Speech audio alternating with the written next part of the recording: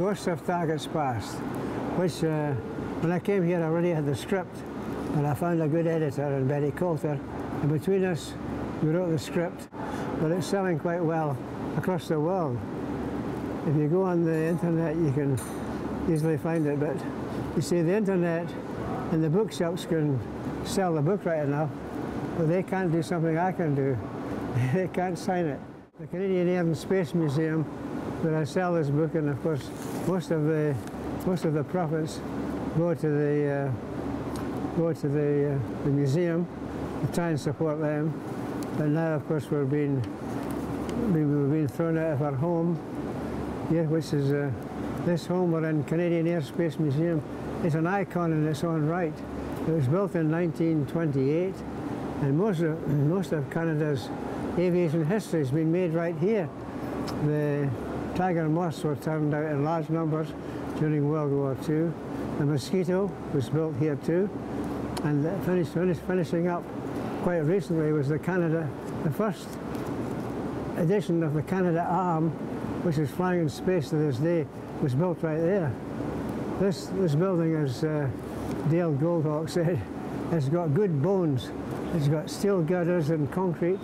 It's a perfect, it's a perfect home for the Canadian Aerospace Museum, but I'm afraid the, it's, it's not, not quite the way the, the, the board the board of uh, Park don't see it that way. When we first came here we were all things good and now when someone has come up with some American combine has come up with two two million dollars to build an ice rink we're suddenly all things bad and we're being thrown out at home. This is this is the ideal this is an this building in its own right is a Canadian icon.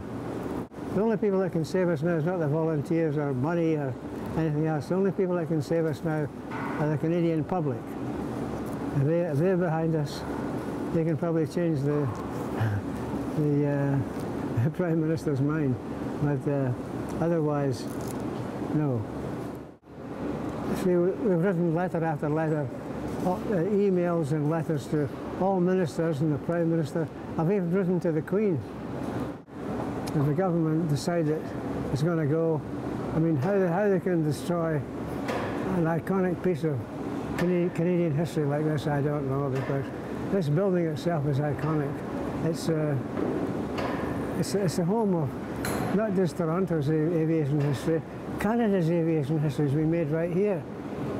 I can't understand, it beats me because uh, you see, on Armistice Day, we'll have to say it out loud, uh, up in Ottawa, quite a few members of the government, including the Prime Minister, were making pious uh, words about the boys who had fallen, and I saw them die right alongside me.